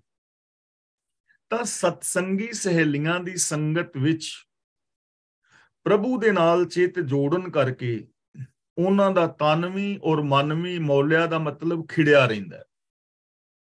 ਗੁਰੂ ਦੀ ਸੰਗਤ ਕਰਨ ਦੇ ਨਾਲ, ਗੁਰੂ ਦੇ ਪਿਆਰਿਆਂ ਦੀ ਸੰਗਤ ਕਰਨ ਨਾਲ, ਸਚਿਆਰ ਦੀ ਸੰਗਤ ਕਰਨ ਦੇ ਨਾਲ, ਉਹਨਾਂ ਮਨੁੱਖਾਂ ਦਾ ਤਨ ਵੀ ਔਰ ਮਨ ਵੀ ਪ੍ਰਭੂ ਮਿਲਾਪ ਕਰਕੇ ਖਿੜਿਆ ਰਹਿੰਦਾ ਕਿਉਂਕਿ ਮਨ ਦੇ ਅੰਦਰ ਕੋਈ 네ਗੇਟਿਵਿਟੀ ਨਹੀਂ, ਮਨ ਦੇ ਅੰਦਰ ਗੁਣ ਨੇ ਰੱਬੀ, ਮਨ ਵੀ ਖੁਸ਼, ਤੇ ਜਿਸ ਦਾ ਮਨ ਖੁਸ਼ ਹੈ ਉਹ ਤਨ ਕਰਕੇ ਵੀ ਖੁਸ਼, ਤਾਂ ਉਹਨਾਂ ਨੂੰ ਤਨ ਔਰ ਮਨ ਕਰਕੇ ਖੁਸ਼ੀ ਪ੍ਰਾਪਤ ਹੁੰਦੀ ਹੈ।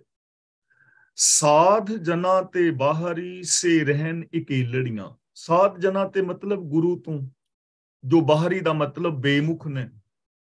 ਜੋ ਗੁਰੂ ਤੋਂ ਬੇਮੁਖ ਨੇ, ਉਹ ਹਮੇਸ਼ਾ ਇਕੱਲੀਆਂ ਹੀ ਰਹਿੰਦੀਆਂ ਨੇ। ਭਾਵ ਉਹਨਾਂ ਦਾ ਪ੍ਰਭੂ ਦੇ ਨਾਲ ਮਿਲਾਪ ਨਹੀਂ ਹੁੰਦਾ। ਜਿਵੇਂ ਤਿਲਾਂ ਦਾ ਬੂਟਾ ਖੱਲਾ ਰਹਿ ਜਾਂਦਾ ਨਾ ਬੁਆੜ ਤਿਲ, ਛੁੱਟੇ ਤਿਲ ਬੁਆੜ ਜਿਉਂ।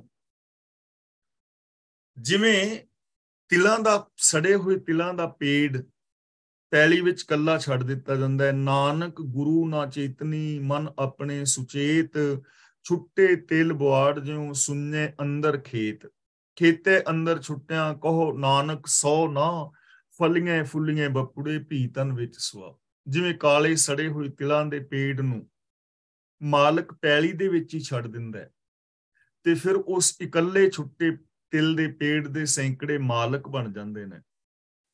ਇਸੇ ਤਰ੍ਹਾਂ ਜੋ ਗੁਰੂ ਦਰਸਾਏ ਰਾਹਾਂ ਤੇ ਨਹੀਂ ਤੁਰਦਾ, ਉਹ ਇਕੱਲਾ ਰਹਿ ਜਾਂਦਾ ਹੈ। ਭਾਵ ਉਹਦਾ ਪ੍ਰਭੂ ਦੇ ਨਾਲ ਮਿਲਾਪ ਨਹੀਂ ਬਣਦਾ ਤੇ ਉਹਦੇ ਸੈਂਕੜੇ ਮਾਲਕ ਕਿਹੜੇ ਬਣ ਜਾਂਦੇ ਨੇ? ਆ ਕਾਮ ਕ੍ਰੋਧ ਆਦਿਕ ਉਹਨੂੰ ਆ ਘੇਰਦੇ ਨੇ।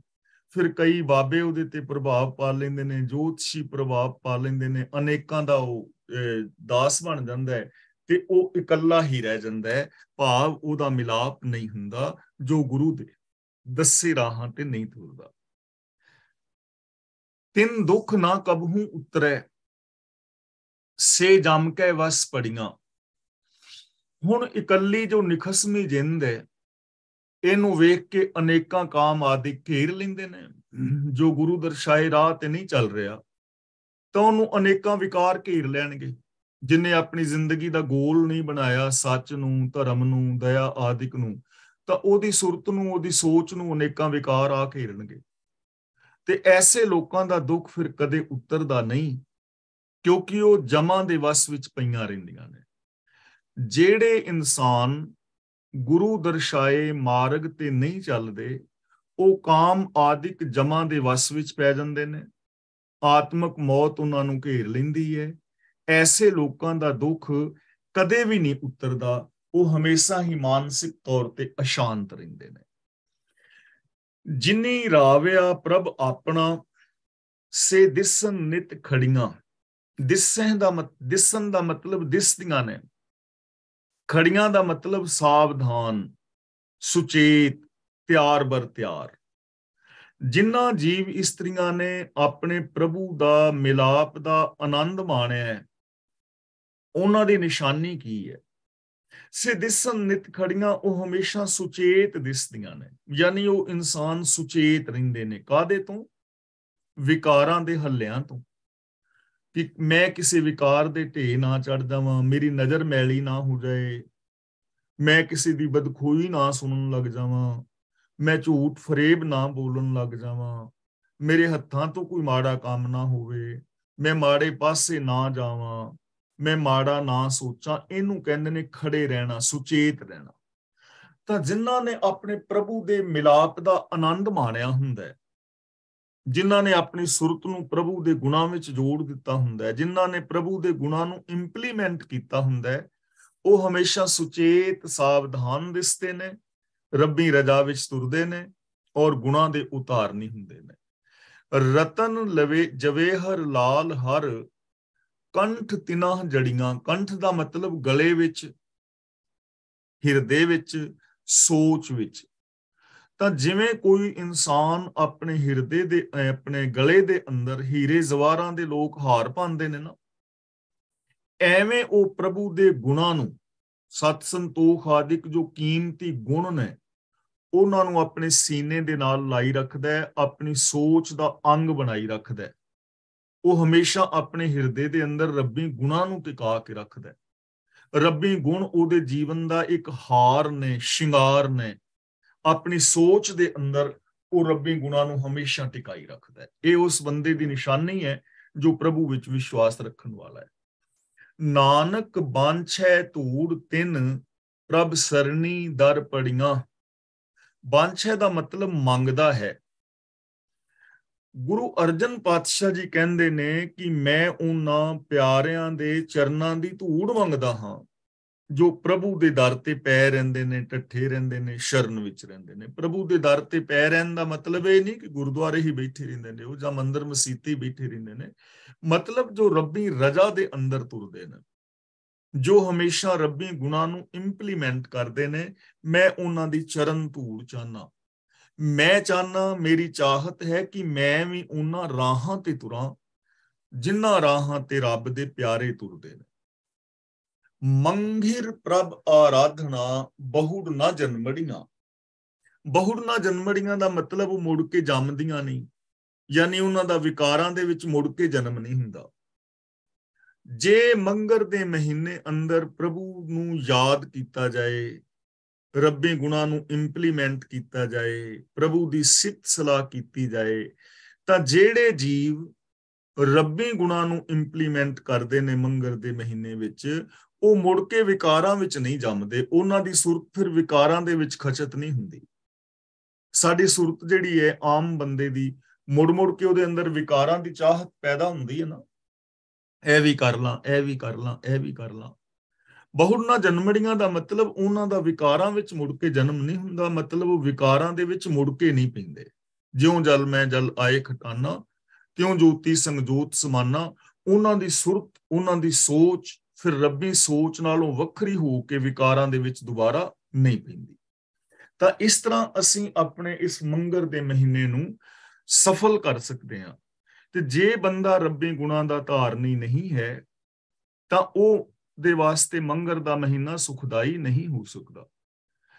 ਸੁਖਦਾਈ ਮਹੀਨਾ, ਸੁਖਦਾਈ ਦਿਨ, ਘੜੀ, ਪਲ ਉਹਦੇ ਵਾਸਤੇ ਹੀ ਹੈ ਜੋ ਸੱਚੇ ਰਾਹਾਂ ਤੇ ਚੱਲਦਾ ਹੈ, ਜੋ ਮਨ, ਬਚਨ, ਕਰਮ ਕਰਕੇ ਸੱਚ ਦਾ ਧਾਰਨੀ ਹੈ, ਜੋ ਰੱਬੀ ਰਜ਼ਾ ਵਿੱਚ ਤੁਰਦਾ ਹੈ, ਜੋ ਗੁਰਬਾਣੀ ਦੇ ਦਿੱਤੇ ਵੇ ਆਫ ਲਾਈਫ ਨੂੰ ਅਪਣਾ ਲੈਂਦਾ ਹੈ। ਪੋਖ ਤੁਖਾਰ ਨਾ ਵਿਆਪਈ ਕੰਠ ਮਿਲਿਆ ਹਰ ਨਾ। ਪੋਖ ਦਾ ਮਤਲਬ ਪੋ ਦੇ ਮਹੀਨੇ ਵਿੱਚ। ਤੁਖਾਰ ਦਾ ਮਤਲਬ ਹੈਗਾ ਠੰਡ, ਕੱਕਰ, ਕੋਰਾ। ਪੋਖ ਤੁਖਾਰ ਤੁਖਾਰ ਦਾ ਮਤਲਬ ਕੱਕਰ, ਪਾਲਾ, ਠੰਡ, ਕੋਰਾ। ਨਾ ਵਿਆਪਈ ਦਾ ਮਤਲਬ ਜ਼ੋਰ ਨਹੀਂ ਪਾਉਂਦਾ। ਕੰਠ ਦਾ ਮਤਲਬ ਗਲ ਵਿੱਚ ਯਾਨੀ ਹਿਰਦੇ ਵਿੱਚ। ਨਾ ਦਾ ਮਤਲਬ ਖਸਮ, ਪ੍ਰਭੂ, ਪਤੀ, ਰੱਬ। ਉਹ ਦੇ ਮਹੀਨੇ ਵਿੱਚ ਜਿਸ ਇਸਤਰੀ ਦੇ ਗਲ ਨਾਲ ਪ੍ਰਭੂ ਪਤੀ ਲੱਗਾ ਹੋਇਆ ਹੈ, ਇੱਥੇ ਗੱਲ ਦਾ ਮਤਲਬ ਹੈ ਸੋਚ। ਜਿਹਦੀ ਸੋਚ ਦੇ ਨਾਲ ਪ੍ਰਭੂ ਹੈ, ਜਿਸ ਨੇ ਰੱਬ ਦੇ ਨਾਲ ਗਲਵਕੜੀ ਪਾਈ ਹੋਈ ਹੈ, ਜਿਨੇ ਆਪਣੀ ਸੋਚ ਨੂੰ ਪ੍ਰਭੂ ਦੀ ਸੋਚ ਦੇ ਨਾਲ ਜੋੜਿਆ ਹੋਇਆ ਹੈ, ਉਹਨਾਂ ਦੇ ਉੱਤੇ ਉਹਨਾਂ ਨੂੰ ਉਹ ਦਾ ਜਿਹੜਾ ਮਹੀਨਾ ਹੈ ਨਾ, ਉਹਦੇ ਵਿੱਚ ਉਹਨਾਂ ਦੇ ਉੱਤੇ ਠੰਡ ਜ਼ੋਰ ਨਹੀਂ ਪਾਉਂਦੀ। ਹੁਣ ਠੰਡ ਦਾ ਮਤਲਬ ਬਾਹਰਲੀ ਠੰਡ ਨਹੀਂ ਹੈ। ਤੇ ਜਿਹੜੇ ਰੱਬ ਦੇ ਨਾਲ ਜੁੜੇ ਨੇ, ਉਹ ਉਹਨਾਂ ਨੂੰ ਠੰਡ ਨਹੀਂ ਲੱਗਦੀ। ਇਹ ਗੱਲ ਨਹੀਂ ਹੈ। ਠੰਡ ਸਰੀਰਕ ਤੌਰ ਤੇ ਲੱਗੇਗੀ। ਇਹ ਇੱਕ ਵੱਖਰੀ ਚੀਜ਼ ਹੈ। ਇੱਥੇ ਹੈ ਕੋਰਾ। ਕੋਰਾਪਨ ਅੰਦਰ ਦੀ ਠੰਡ ਜਿਹੜੀ ਹੈ। ਕੋਰਾਪਨ। ਕਿੰਨਾ ਕੋਰਾਪਨ ਹੈ ਬੰਦੇ ਦੀ ਜ਼ਿੰਦਗੀ ਵਿੱਚ? ਕਠੋਰਤਾ ਜਿਸ ਨੂੰ ਅਸੀਂ ਕਹਿੰਦੇ ਆ ਕਿ ਫਲਾਂ ਬੰਦੇ ਦਾ ਖੂਨ ਚਿੱਟਾ ਹੋ ਗਿਆ ਹੁਣ ਖੂਨ ਚਿੱਟਾ ਨਹੀਂ ਹੋਇਆ ਹੁੰਦਾ। ਖੂਨ ਹਮੇਸ਼ਾ ਲਾਲ ਹੀ ਰਹਿੰਦਾ ਹੈ। ਖੂਨ ਚਿੱਟਾ ਹੋਣ ਦਾ ਮਤਲਬ ਹੈਗਾ ਕਿ ਬੰਦੇ ਦੇ ਅੰਦਰ ਕੋਰਾਪਨ ਆ ਗਿਆ ਹੈ, ਉਹ ਕਠੋਰ ਹੋ ਗਿਆ ਹੈ, ਉਹ ਕਿਸੇ ਦੀ ਭਾਵਨਾ ਨੂੰ ਦੁੱਖ ਔਰ ਦਰਦ ਨੂੰ ਸਮਝਦਾ ਹੀ ਨਹੀਂ ਹੈ। ਤਾਂ ਇਸ ਦੁਨੀਆ ਦੇ ਅੰਦਰ ਕਿੰਨੀ ਵੱਡੀ ਕਠੋਰਤਾ ਹੈ, ਇਸ ਚੀਜ਼ ਨੂੰ ਤਾਂ ਅਸੀਂ ਸਾਰੇ ਚੰਗੀ ਤਰ੍ਹਾਂ ਸਮਝਦੇ ਹਾਂ। ਰਿਸ਼ਵਤ ਲੈਣੀ, ਚੋਰ ਬਜ਼ਾਰੀ, ਦੋ ਨੰਬਰ ਦੇ ਧੰਦੇ ਖਾਣ ਪੀਣ ਵਾਲੀਆਂ ਚੀਜ਼ਾਂ ਦੇ ਵਿੱਚ ਮਿਲਾਵਟ, ਨਿੱਕੀਆਂ ਬੱਚੀਆਂ ਦੇ ਨਾਲ, ਵੱਡੀਆਂ ਔਰਤਾਂ ਦੇ ਨਾਲ, ਜਬਰ ਜਿਨਾ ਕਰੈਕਟਰ ਤੋਂ ਹੀਣੇ ਹੋਣਾ, ਚੋਰੀਆਂ ਕਰਨੀਆਂ, ਡਾਕੇ ਮਾਰਨੇ, ਬੰਬ ਧਮਾਕੇ ਕਰਕੇ નિર્ਦੋਸ਼ਾਂ ਦਾ ਖੂਨ ਕਰਨਾ ਇਹ ਕਠੋਰਤਾ ਹੀ ਤੇ ਹੈ ਸਾਰੀ। ਜੇ ਬੰਦੇ ਦੇ ਅੰਦਰ ਨਰਮ ਦਿਲ ਹੋਵੇ ਕੋਮਲਤਾ ਹੋਵੇ, ਤਾਂ ਬੰਦਾ ਐਸਾ ਕੋਈ ਗਲਤ ਕੰਮ ਨਹੀਂ ਕਰੇਗਾ। ਇਹ ਕਠੋਰਤਾ ਹੈ ਕਠੋਰਤਾ ਹੀ ਤੇ ਹੈ ਜਦੋਂ ਅਸੀਂ ਕ੍ਰੋਧ ਦੇ ਨਾਲ ਇੱਕ ਦੂਜੇ ਦੇ ਟੁੱਟ ਟੁੱਟ ਕੇ ਗੱਲ ਪੈਨੇ ਆ ਇੰਨਾ ਕਠੋਰ ਬੰਦਾ, ਆਪਣੇ ਬੱਚਿਆਂ ਵਾਸਤੇ ਵੀ ਕਠੋਰ। ਇੰਨੇ ਕਠੋਰ ਲੋਕ ਕਿ ਧਰਮ ਦੇ ਨਾਮ ਦੇ ਉੱਤੇ ਕਤਲਾਮ, ਰੱਬ ਨੂੰ ਦਿਆਲੂ ਕਹਿਣ ਵਾਲੇ ਤੇ ਰੱਬ ਦੇ ਨਾਮ ਦੇ ਉੱਤੇ ਕਤਲੋਗਾਰਤ ਇਹ ਕਠੋਰਤਾ ਹੀ ਤੇ ਹੈ। ਗੁਰੂ ਜੀ ਕਹਿੰਦੇ ਨੇ, ਪੋਹ ਦੇ ਮਹੀਨੇ ਵਿੱਚ ਜਿਨ੍ਹਾਂ ਨੇ ਰੱਬ ਨਾਲ ਗਲਵਕੜੀ ਪਾਈ ਹੈ, ਜਿਨ੍ਹਾਂ ਦੀ ਸੋਚ ਨਾਲ ਪ੍ਰਭੂ ਮਿਲਿਆ ਹੋਇਆ ਹੈ, ਉਹਨਾਂ ਨੂੰ ਕਠੋਰਤਾ ਨਹੀਂ ਵਿਆਪਦੀ। ਉਹਨਾਂ ਉੱਤੇ ਕਠੋਰਤਾ ਜ਼ੋਰ ਨਹੀਂ ਪਾਉਂਦੀ, ਉਹ ਨਰਮ ਦਿਲ ਹੁੰਦੇ ਨੇ ਭਾਈ ਕਨਈਏ ਵਰਗੇ। ਉਹ ਨਰਮ ਦਿਲ ਹੁੰਦੇ ਨੇ ਭਗਤ ਪੂਰਨ ਸਿੰਘ ਵਰਗੇ। ਉਹਨਾਂ ਦੇ ਅੰਦਰ ਦਇਆ ਹੈ, ਉਹ ਗੁਰੂ ਤੇਗ ਬਹਾਦਰ ਦੀ ਤਰ੍ਹਾਂ ਆਪਣਾ ਸ਼ੀਸ਼ ਵਾਰ ਦਿੰਦੇ ਨੇ ਕਿਸੇ ਨੂੰ ਆਜ਼ਾਦੀ ਦੇਣ ਲਈ। ਉਹਨਾਂ ਦਾ ਹਿਰਦਾ ਇੰਨਾ ਨਰਮ ਹੈ, ਉਹ ਆਪਣੇ ਪੁੱਤਰ ਦਾ ਕਲੇਜਾ ਆਪਣੇ ਮੂੰਹ 'ਚ ਕਢਾ ਕੇ ਪਾ ਲੈਂਦੇ ਨੇ ਕਿ ਲੋਕਾਂ ਦੇ ਬੱਚੇ ਸੁਖ ਸ਼ਾਂਤੀ ਲੈ ਸਕਣ। ਉਹ ਇੰਨੇ ਨਰਮ ਦਿਲ ਹੁੰਦੇ ਨੇ ਕਿ ਉਹ ਆਪਣੇ ਬੱਚਿਆਂ ਨੂੰ ਨੀਹਾਂ ਵਿੱਚ ਚਿਣਵਾ ਸਕਦੇ ਨੇ ਕਿ ਦੂਜਿਆਂ ਦੇ ਬੱਚੇ ਸੁੱਖ ਲੈ ਸਕਣ। ਇਹਨੂੰ ਕਹਿੰਦੇ ਨੇ ਕਠੋਰਤਾ ਨਾ ਵਿਆਪਣਾ। ਤਾਂ ਪੋਖ ਦੇ ਮਹੀਨੇ ਵਿੱਚ ਜਿਨ੍ਹਾਂ ਦੀ ਸੋਚ ਦੇ ਨਾਲ ਪ੍ਰਭੂ ਮਿਲਿਆ ਹੈ, ਉਹਨਾਂ ਦੇ ਅੰਦਰ ਕਠੋਰਤਾ ਨਹੀਂ ਹੁੰਦੀ। ਉਹ ਨਰਮ ਦਿਲ ਹੁੰਦੇ ਨੇ। ਤੇ ਉਹਨਾਂ ਵਾਸਤੇ ਪੋਹ ਦਾ ਮਹੀਨਾ ਸਫਲ ਹੈ। ਤੇ ਜੇ ਅੰਦਰ ਕਠੋਰਤਾ ਹੈ ਭਾਈ, ਤਾਂ ਜਿੰਨੇ ਮਰਜ਼ੀ ਖੀਰ ਕੜਾ ਬਣਾ ਬਣਾ ਕੇ ਖਾਈ ਜਾਓ, ਸਗਰਾਨਾ ਮਨਾਈ ਜਾਓ, ਸਗਰਾਨਾ ਮਨਾਉਣ ਨਾਲ ਥੋੜੀ ਹੋਣਾ ਹੈ। ਇਹ ਸਗਰਾਨਾ ਮਨਾਉਣ ਵਾਸਤੇ ਬਾਣੀ ਨਹੀਂ ਹੈ। ਅਗਲਾ ਵਚਨ ਕਰਦੇ ਨੇ, ਮਨ ਬੇਧਿਆ ਚਰਨਾਰ ਬਿੰਦ, ਦਰਸ਼ਨ ਲਗੜਾ ਸਾ।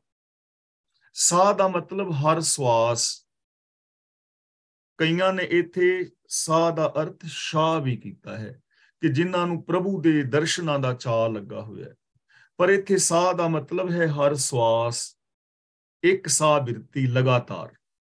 ਮਨ ਬੇਧਿਆ ਦਾ ਮਤਲਬ ਜਿਨ੍ਹਾਂ ਦਾ ਮਨ ਵਿੰਨਿਆ ਜਾਂਦਾ ਹੈ। ਚਰਨਾਰ ਬਿੰਦ ਦਾ ਮਤਲਬ ਚਰਨ ਅਰਬਿੰਦ, ਚਰਨ ਕਮਲ, ਰੱਬੀ ਗੁਣ।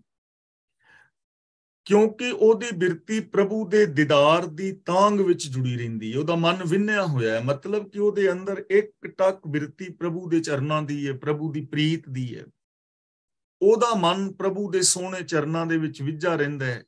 ਔਰ ਉਹਦੀ ਲਗਾਤਾਰ ਬਿਰਤੀ ਹਰ ਸਵਾਸ ਰੱਬੀ ਦਰਸ਼ਨ ਵਿੱਚ ਲੱਗਾ ਹੁੰਦਾ ਹੈ, ਉਹ ਹਰ ਸਵਾਸ ਪ੍ਰਭੂ ਦੇ ਦਰਸ਼ਨ ਕਰਦਾ ਹੈ। ਹੁਣ ਇਹ ਚੀਜ਼ਾਂ ਸਮਝਣ ਵਾਲੀਆਂ ਨੇ, ਦਰਸ਼ਨ ਸਾਨੂੰ ਸਾਰਿਆਂ ਨੂੰ ਹੁੰਦੇ ਨੇ, ਪਰ ਆਮ ਬੰਦਾ ਇਸ ਚੀਜ਼ ਨੂੰ ਸਮਝ ਨਹੀਂ ਪਾ ਰਿਹਾ। ਕੁਦਰਤ ਕਰਕੇ ਵਸਿਆ ਸੋਏ, ਸਾਨੂੰ ਗੁਰੂ ਪਾਤਸ਼ਾਹ ਜੀ ਸਮਝਾ ਰਹੇ ਨੇ ਕਿ ਕੁਦਰਤ ਦੇ ਵਿੱਚ ਰੱਬ ਹੈ। ਘਟ ਘਟ ਮੈਂ ਹਰ ਜੂ ਵਸੇ ਹਰ ਹਿਰਦੇ ਵਿੱਚ ਰੱਬ ਵਸ ਰਿਹਾ ਹੈ। ਸਭ ਮੈਂ ਜੋਤ ਜੋਤ ਹੈ ਸੋਏ, ਜਲ ਥਲ ਮਹੀਲ ਪੂਰਿਆ। ਪਰ ਅਸੀਂ ਵਹਿੰਦੇ ਨਹੀਂ ਨਾ, ਅਸੀਂ ਦਰਸ਼ਨ ਕਰਦੇ ਨਹੀਂ ਨਾ ਰੱਬ ਦੇ। ਹਵਾ ਵਿੱਚ ਕਿੱਥੇ ਅਸੀਂ ਦਰਸ਼ਨ ਕਰਨੇ ਆ? ਅਸੀਂ ਤੇ ਕਿਤੇ ਉਤਲੇ ਰੱਬ ਦੀ ਆਸ ਵਿੱਚ ਬੈਠੇ ਆ। ਜਿਹੜਾ ਹਵਾ ਵਿੱਚ ਰੱਬ ਦੇ ਦਰਸ਼ਨ ਕਰੇਗਾ, ਉਹ ਹਵਾ ਦੇ ਵਿੱਚ ਪੋਲੂਸ਼ਨ ਨਹੀਂ ਫੈਲਾਏਗਾ। ਜਿਹੜਾ ਮਾਤਾ ਧਰਤ ਮਹੱਤ ਧਰਤੀ ਵਿੱਚ ਜਲ ਥਲ ਮਹੀਲ ਪੂਰਿਆ ਵਿੱਚ ਦਰਸ਼ਨ ਕਰੇਗਾ, ਉਹ ਧਰਤੀ ਤੇ ਗੰਦਗੀ ਨਹੀਂ ਫੈਲਾਏਗਾ। ਜਿਹੜਾ ਪਾਣੀ ਦੇ ਵਿੱਚ ਜਲ ਥਲ ਮਹੀਲ ਪੂਰਿਆ ਜਿਹੜਾ ਸਮਝੇਗਾ, ਉਹ ਪਾਣੀ ਨੂੰ ਗੰਦਾ ਨਹੀਂ ਕਰੇਗਾ, ਦੁਰਵਰਤੋਂ ਨਹੀਂ ਕਰੇਗਾ। ਜਿਹੜਾ ਇਨਸਾਨਾਂ ਦੇ ਵਿੱਚ ਰੱਬ ਨੂੰ ਵੇਖੇਗਾ ਨਾ, ਸਭ ਮੈਂ ਜੋਤ ਜੋਤ ਹੈ ਸੋਏ ਲੋਕਾਂ ਦੇ ਨਾਲ ਕਿਉਂ ਵੈਰ ਕਮਾਏਗਾ?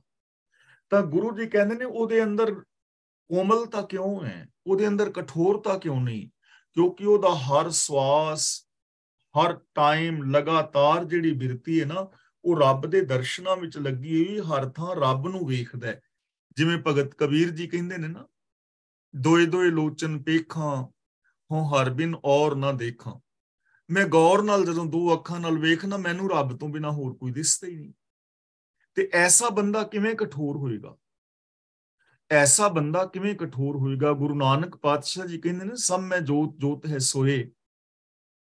ਤੇ ਫਿਰ ਉਹ ਕਿੰਨੇ ਕੋਮਲ ਦਿਲ ਵਾਲੇ ਨੇ ਕਿ ਆਪਣੇ ਬੱਚਿਆਂ ਨੂੰ, ਮਾਪਿਆਂ ਨੂੰ, ਪਰਿਵਾਰ ਨੂੰ ਛੱਡ ਕੇ ਤੇ 22 24 ਸਾਲ ਲਗਾਤਾਰ ਖਤਰਨਾਕ ਜੰਗਲੀ ਰਾਹਾਂ ਦੇ ਵਿੱਚ ਵਿਚਰ ਕੇ ਠੱਗਾਂ, ਚੋਰਾਂ ਦੇ ਨਾਲ ਮਿਲ-ਮਿਲ ਕੇ ਉਹਨਾਂ ਨੂੰ ਸਿੱਧੇ ਰਾਏ ਪਾ ਰਹੇ ਨੇ, ਕਿਉਂਕਿ ਉਹਨਾਂ ਨੂੰ ਆਵਾਜ਼ਾਂ ਸੁਣਾਈ ਦੇ ਰਹੀਆਂ ਨੇ ਰੋਂਦਿਆਂ ਲੋਕਾਂ ਦੀਆਂ ਚੀਕ ਦੇ ਲੋਕਾਂ ਦੀਆਂ, ਬਾਬਾ ਦੇਖੇ ਧਿਆਨ ਧਰ, ਜਲਦੀ ਸਭ ਪ੍ਰithvi ਦਿਸਾਈ ਤੇ ਇਹਨੇ ਨਰਮ ਦਿਲ ਨੇ ਕਿ ਸੋ ਚੜਿਆ ਸੋਦਨ ਤਰਤ ਲੁਕਾਈ ਗੁਰੂ ਅਰਜਨ ਪਾਤਸ਼ਾਹ ਕਿੰਨੇ ਨਰਮ ਦਿਲ ਨੇ।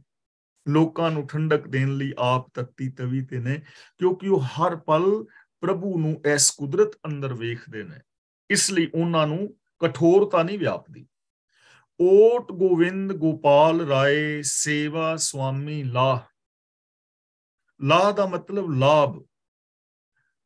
ਓਟ ਗੋਬਿੰਦ ਗੋਪਾਲ ਰਾਏ ਦਾ ਮਤਲਬ ਜਿਸ ਵੀ ਇਨਸਾਨ ਨੇ ਗੋਬਿੰਦ ਗੋਪਾਲ ਦਾ ਆਸਰਾ ਲਿਆ, ਜਿਨੇ ਸਹਾਰਾ ਬਣਾਇਆ, ਰੱਬੀ ਗੁਣਾ ਨੂੰ ਜੀਵਨ ਦਾ ਆਧਾਰ ਬਣਾਇਆ, ਤੇ ਉਹਦੇ ਜੀਵਨ ਦੀ ਨਿਸ਼ਾਨੀ ਕੀ ਹੈ? ਸੇਵਾ ਸੁਆਮੀ ਲਾ, ਉਹਨੇ ਪ੍ਰਭੂ ਪਤੀ ਦੀ ਸੇਵਾ ਦਾ ਲਾਭ ਖੱਟਿਆ, ਸੇਵਾ ਕਰਕੇ ਉਹਨੇ ਲਾਭ ਖੱਟਿਆ, ਸੇਵਾ ਦਾ ਲਾਭ ਹੈ। ਤੇ ਉਹ ਸੇਵਾ ਕਿਹੜੀ ਹੈ ਵਿੱਚ ਦੁਨੀਆ ਸੇਵ ਕਮਾਈ ਹੈ ਤਾਂ ਦਰਗਾਹ ਬੈਸਣ ਪਾਈ ਹੈ ਹਰ ਇਨਸਾਨ ਇੱਕ ਦੂਜੇ ਦਾ ਸਹਿਯੋਗ ਕਰੇ, ਨਿਸਵਾਰਥ ਭਾਵ ਦੇ ਨਾਲ ਜਿੰਨਾ ਵੀ ਕੋਈ ਕਰ ਸਕਦਾ ਨਾ, ਜਿੰਨਾ ਕਰ ਸਕਦਾ ਜੋ ਉਹਦੇ ਵਸ ਵਿੱਚ ਹੈ, ਉਹਦੀ ਹਿੰਮਤ ਦੇ ਅੰਦਰ ਹੈ, ਜੇ ਇਨਾ ਇਨਾ ਸਹਿਯੋਗ ਹਰ ਬੰਦਾ ਦੂਜੇ ਦਾ ਕਰੇ, ਤਾਂ ਇਹ ਦੁਨੀਆ ਤਾਂ ਸਵਰਗ ਬਣ ਜਾਏ। ਵਿਖਿਆ ਪਹੋ ਨਾ ਸਕਈ ਮਿਲ ਸਾਧੂ ਗੁਣਗਾਹ ਗੁਣਗਾਹ ਦਾ ਮਤਲਬ ਜਿਨ੍ਹਾਂ ਨੇ ਗੁਣਾ ਦੀ ਡੂੰਗੀ ਵਿਚਾਰ ਕੀਤੀ ਹੈ, ਜਿਨ੍ਹਾਂ ਨੇ ਗੁਣਾ ਦੇ ਵਿੱਚ ਟੁੱਬੀ ਲਾਈ ਹੈ। ਵਿਖਿਆ ਦਾ ਮਤਲਬ ਮਾਇਆ। ਮਾਇਆ ਉਹਨੂੰ ਪੋ ਨਹੀਂ ਸਕਦੀ। ਮਾਇਆ ਦਾ ਮਤਲਬ ਸੋਚ। ਜਿਹੜੀ ਸੋਚ ਸਾਨੂੰ ਗੁਣਾ ਨਾਲੋਂ ਤੋੜ, ਔਗਣਾ ਨਾਲ ਜੋੜਦੀ ਹੈ, ਮੇਰ ਤੇਰ ਦੇ ਵਿਤਕਰੇ ਪੈਦਾ ਕਰਦੀ ਹੈ, ਉਸ ਬੰਦੇ ਨੂੰ ਇਹ ਸੋਚ ਪੋ ਵੀ ਨਹੀਂ ਸਕਦੀ। ਮਿਲ ਸਾਧੂ ਗੁਣਗਾਹ ਜਿਹੜਾ ਗੁਰੂ ਨੂੰ ਮਿਲ ਕੇ ਗੁਣਾ ਵਿੱਚ ਚੁੱਭੀ ਲੰਦਾ ਹੈ। ਜਿਹੜਾ ਗੁਰੂ ਦੇ ਦੱਸੇ ਰਾਹ ਤੇ ਚੱਲ ਕੇ ਗੁਣਾ ਵਾਲੀ ਜ਼ਿੰਦਗੀ ਜੀਂਦਾ ਹੈ, ਉਹਨੂੰ ਮਾਇਆ ਜਿਹੜੀ ਇਹ ਭੈੜੀ ਸੋਚ ਪੋ ਵੀ ਨਹੀਂ ਸਕਦੀ, ਉਹਦੇ ਨੇੜੇ ਵੀ ਨਹੀਂ ਆਉਂਦੀ। ਜਹ ਤੇ ਉਪਜੀ ਤਹ ਮਿਲੀ ਸੱਚੀ ਪ੍ਰੀਤ ਸਮਾਹ। ਇੱਥੇ ਸਮਾਹ ਦਾ ਮਤਲਬ ਹੈ ਲਿਵ ਲਗਨ। ਜਹ ਤੇ ਦਾ ਮਤਲਬ ਜਿਸ ਪ੍ਰਭੂ ਤੋਂ। ਜਿਸ ਪ੍ਰਭੂ ਤੋਂ ਉਹ ਜਨਮਿਆ ਸੀ, ਉਸੇ ਦੇ ਵਿੱਚ ਉਹ ਜੁੜਿਆ ਰਹਿੰਦਾ ਹੈ। ਉਹਦੀ ਲਿਵ, ਉਹਦੀ ਲਗਨ ਹਮੇਸ਼ਾ ਪ੍ਰਭੂ ਦੀ ਪ੍ਰੀਤ ਵਿੱਚ ਲੱਗੀ ਰਹਿੰਦੀ ਹੈ। ਹੁਣ ਅਸੀਂ ਪੈਦਾ ਕਿੱਥੇ ਹੋਏ ਆ ਰੱਬ ਚੋਂ। ਇੱਕ ਰੱਬ ਹੀ ਫੈਲਿਆ ਹੋਇਆ ਨਾ ਚਫੇਰੇ। ਇਹਨੂੰ ਕੋਈ ਜਗਤ ਕਹੇ, ਕੋਈ ਰੱਬ ਕਹੇ, ਕੋਈ ਕਿਸੇ ਨਾਮ ਦੇ ਨਾਲ ਪੁਕਾਰਦਾ ਇੱਕ ਪ੍ਰਭੂ ਹੀ ਫੈਲਿਆ ਹੋਇਆ ਹੈ। ਅਨੇਕ ਭਾਂਤ ਹੋਏ ਪਸਰਿਆ। ਨਾਨਕ ਏਕੰਕਾਰ ਇੱਕੋ ਹੀ ਅਨੇਕਾਂ ਤਰੀਕਿਆਂ ਦੇ ਨਾਲ ਪਸਰਿਆ ਹੋਇਆ ਤਾਂ ਸਾਡੀ ਜਿਹੜੀ ਸੁਰਤ ਹੈ, ਜਿਸ ਰੱਬ ਨਾਲੋਂ ਟੁੱਟ ਚੁੱਕੀ ਹੈ, ਗੁਣਾ ਨਾਲੋਂ ਟੁੱਟ ਚੁੱਕੀ ਹੈ, ਜਦੋਂ ਸੱਚੀ ਪ੍ਰੀਤ ਪੈਦਾ ਹੁੰਦੀ ਹੈ, ਤਾਂ ਫਿਰ ਉਹਨਾਂ ਗੁਣਾ ਦੇ ਵਿੱਚ ਹੀ ਸਮਾ ਜਾਂਦੀ ਹੈ, ਉਹ ਬੰਦਾ ਫਿਰ ਰੱਬ ਵਰਗਾ ਹੀ ਹੋ ਜਾਂਦਾ ਹੈ। ਕਰ ਗਹਿ ਲੀਨੀ ਪਾਰ ਬ੍ਰਹਮ ਬਹੁੜ ਨਾ ਵਿਛੁੜਿਆ, ਕਰ ਦਾ ਮਤਲਬ ਹੱਥ, ਗਹਿ ਦਾ ਮਤਲਬ ਫੜ ਕੇ, ਲੀਨੀ ਦਾ ਮਤਲਬ ਆਪਣਾ ਬਣਾ ਲਿਆ ਪ੍ਰਭੂ ਨੇ ਉਹਦਾ ਹੱਥ ਫੜ ਕੇ ਉਹਨੂੰ ਆਪਣੇ ਚਰਨਾਂ ਵਿੱਚ ਜੋੜਿਆ ਹੁੰਦਾ ਹੈ ਤੇ ਉਹ ਮੁੜ ਕੇ ਪ੍ਰਭੂ ਚਰਨਾਂ ਤੋਂ ਨਹੀਂ ਵਿਛੜਦੀ ਯਾਨੀ ਜਿਸ ਨੂੰ ਬਾਹ ਫੜ ਕੇ ਪ੍ਰਭੂ ਨੇ ਆਪਣੇ ਨਾਲ ਮਿਲਾ ਲਿਆ, ਆਪਣੇ ਵਿੱਚ ਅਪੇਧ ਕਰ ਲਿਆ, ਉਹ ਇਨਸਾਨ ਫਿਰ ਰੱਬ ਤੋਂ ਵਿਛੜਦਾ ਨਹੀਂ।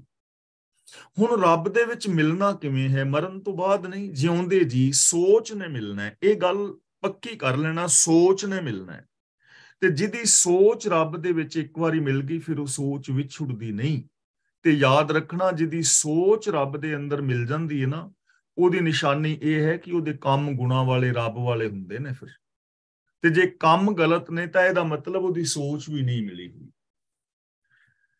ਬਾਹਰ ਜਾਉ, ਲੱਖ ਬੇਰੀਆਂ, ਹਰ ਸੱਜਣ, ਅਗੰਮ, ਅਗਾਹ। ਬਾਹਰ ਜਾਉਣ ਦਾ ਮਤਲਬ ਮੈਂ ਵਾਰ ਨੇ ਸਦਕੇ ਜਾਂਦਾ ਹਾਂ ਬੇਰੀਆਂ ਦਾ ਮਤਲਬ ਵਾਰੀ, ਅਗੰਮ ਦਾ ਮਤਲਬ ਪਹੁੰਚ, ਅਗਾਹ ਦਾ ਮਤਲਬ ਅਗਾਧ ਡੂੰਗੇ ਜਿਗਰੇ ਵਾਲਾ।